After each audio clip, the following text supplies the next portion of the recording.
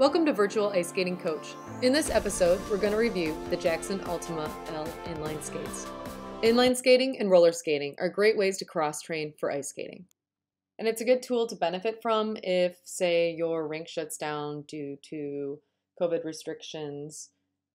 You could take it inline skating into a roller rink, or you could also skate outdoors like this park right here.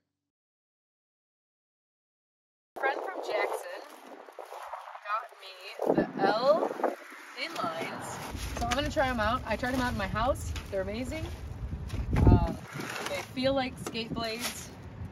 They feel like skating boots. They're light fitting. I was able to jump. I was sort of able to spin in them.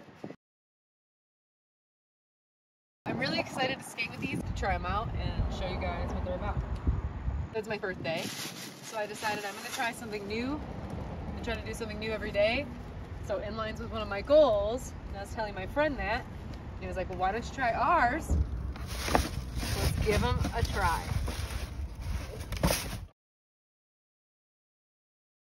They're awesome, and I don't think I'm ever gonna walk in my house ever again.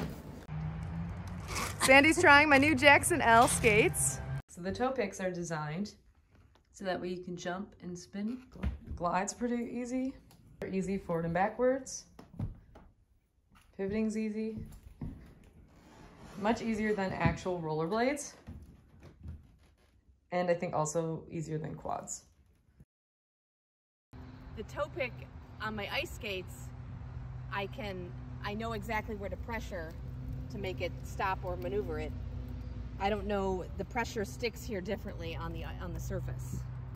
Yeah. Yeah, you have to like, like you were saying, you know how your skate feels. Yeah. What part you need to put pressure on. You have to The relearn toe the, pick skate. sticks differently to this surface than a toe pick sticks on ice. And it could just be that I'm not used to it. Yeah.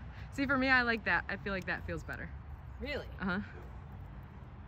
I'm just, first time in it. I'm But I also have dance toe picks. not used to it. I have dance toe picks, so my regular ice skates have smaller toe picks anyway. And also going like freestyle. this, I usually stand like this in my skates. Yeah, and you're the heel "Woo." doesn't move. This, So you gotta go, gotta change it. Thank you for watching this episode of Virtual Ice Skating Coach.